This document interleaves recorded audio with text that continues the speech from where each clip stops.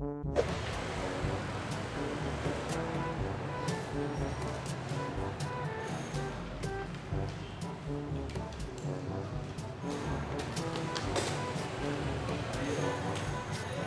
tự quản đi nhá.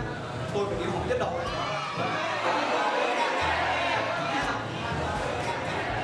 À mày nhớ trật tự đấy đừng làm ảnh hưởng đến việc học của lớp khác. Không tôi điểm hết. Thầy yên tâm.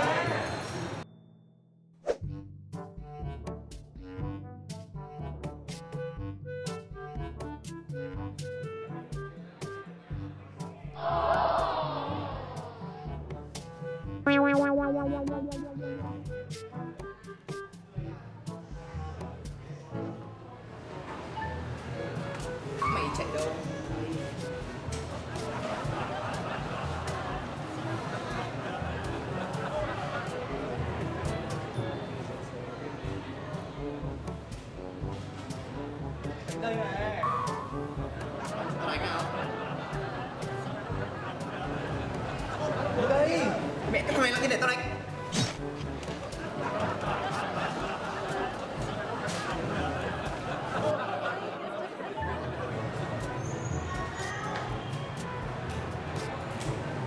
đây là bài kiểm tra lần trước bài chung đấy thì ờ, bài kiểm tra lần này các anh chị làm tôi khá bất ngờ. Bài của anh Nguyên. Anh Nguyên đâu? Câu hỏi của tôi đưa ra là theo em, đâu là ngành mũi nhọn Việt Nam? Và anh ấy trả lời.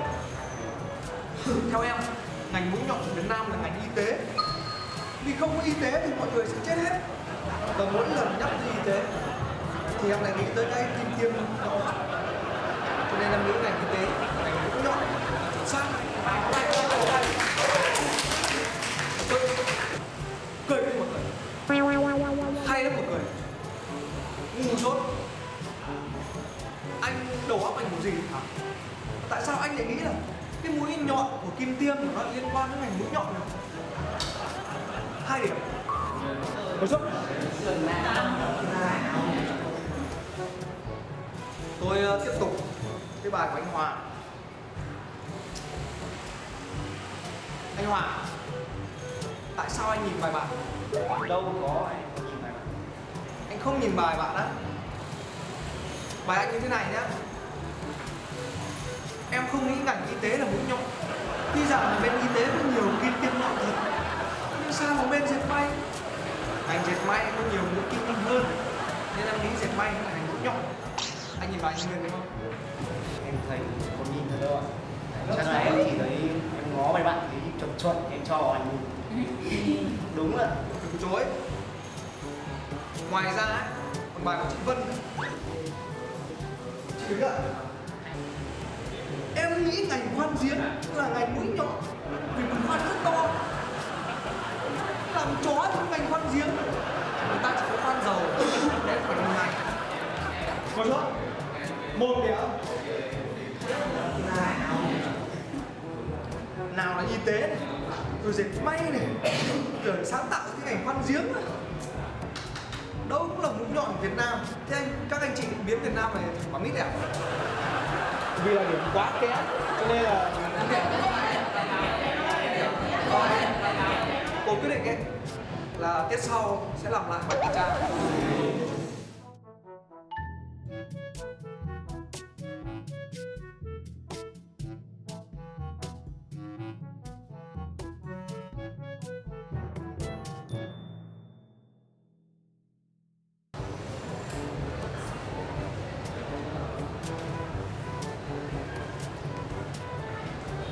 Bây giờ các anh chị trả lời được một câu của tôi thì không cần phải làm bài kiểm tra nữa. Thầy hỏi gì đây? Em trả lời. Các anh chị đã làm ra tiền chưa? Đã tự chủ về tài chính chưa? Nào. Chị đi, tôi mời chị trả lời. Em thưa thầy là em làm ra rồi Nhưng mà còn lâu nữa mới nhiều Lâu nữa bây giờ À. Ờ, chị ngồi xuống đây. Ờ, tôi lại mời anh đi. Em cũng chưa có. Chưa có, ờ, ngồi xuống đây. chưa có theo nghĩa là là giai cấp vô sản đúng không? Vô sản là không có gì hết. Thế tại sao trong bài ai tụng thêm cái chữ ta có nhỉ? Có cái gì? Anh chị có cái gì? Sách. Sách viết thế. Đây còn viết vậy bạn là gì? Chị viết theo. Phải không? Bây giờ nhá kết lại là thằng nào cũng có hoặc là vì thầy cho nên bọn em có Thôi giờ còn có 15 phút rồi đấy làm nốt bài đi xóa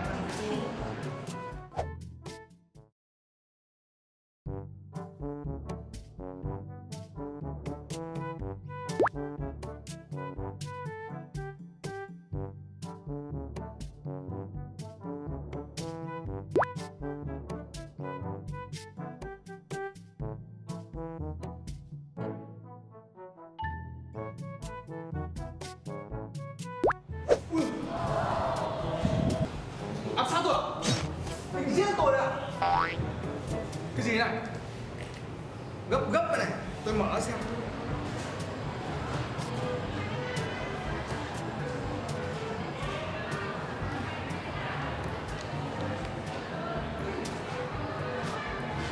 Ngày tháng năm ấy à trong đầu tớ, lúc nào cũng nghĩ về hình ảnh của ấy. Vậy nên, hẹn chiều nay 5 giờ ở chỗ cũ.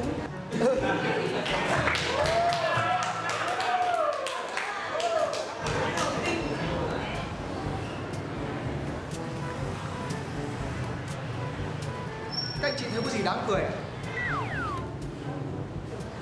Tôi buồn. Tôi rất buồn.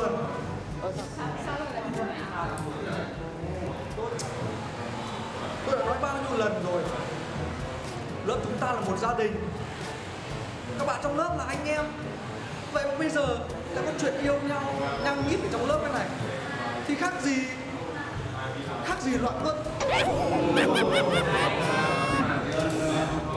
À, à còn một điều nữa.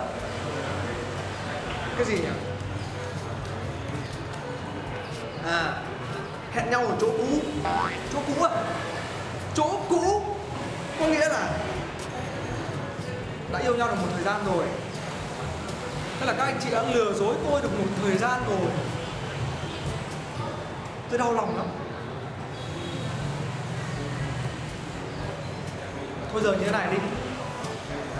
Ai mà tố giác được uh, cặp đôi yêu nhau ấy, Thì tôi cộng cho hai điểm quá trình. Ai không tố giác thì trừ hai điểm quá trình.